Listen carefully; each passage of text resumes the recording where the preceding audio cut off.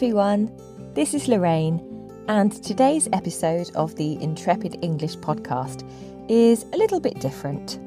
It was inspired by a popular meme on social media. Have you seen it?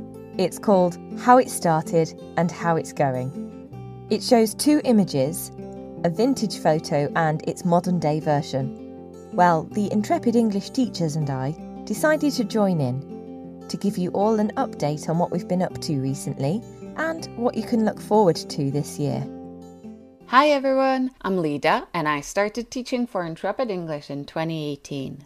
Since then, I've written five courses for the Intrepid English Academy, trained lots of new Intrepid English teachers, and I have the pleasure of teaching several lovely students in my intermediate group classes. Join us every Tuesday. Hi, my name's Kate. I became an intrepid English teacher in 2020 and I've had the pleasure of teaching some lovely students from Japan, China, Italy, Turkey, and more. Last year, I created the Business English Skillset Small Talk course, and I'm currently working on a reported speech course which will be available in April. Hello, I'm Gemma. I started teaching with Intrepid English at the beginning of 2018. Now I get to connect with some wonderful students from places like Greece, Switzerland, and Turkey through the Intrepid English community. I also have the opportunity to put together the podcasts you hear weekly. Check it out. Hello, I'm Kim. I began working for Intrepid English in June 2020. I work on the Intrepid English newsletter, sending you exciting and helpful updates with our best language learning tips and helpful exercises. I also teach group classes with students from all over the world. Some of my students live in France, Greece, Spain, and Turkey. Hi, my name's Tom. I started working for Intrepid English three years ago. Right now, I'm getting ready to work on a very exciting project, more on that soon. And I teach a wide variety of students from all around the world.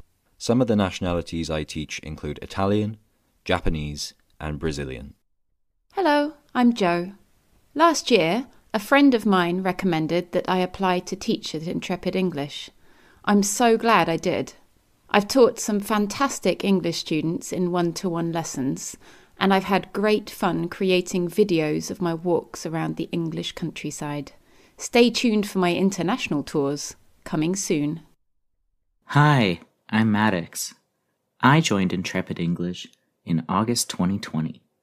Since then, I've met so many wonderful students from around the world and gotten the opportunity to share what I know with them. This year, I'm looking forward to publishing some courses, learning online, and diversity and inclusion. Watch this space. The Intrepid English journey started for me in 2013. You can read more about the humble beginnings of Intrepid English in a blog post I wrote earlier this year. I'll put the link in the episode notes. It's amazing for me to think back on just how much it has grown in that time.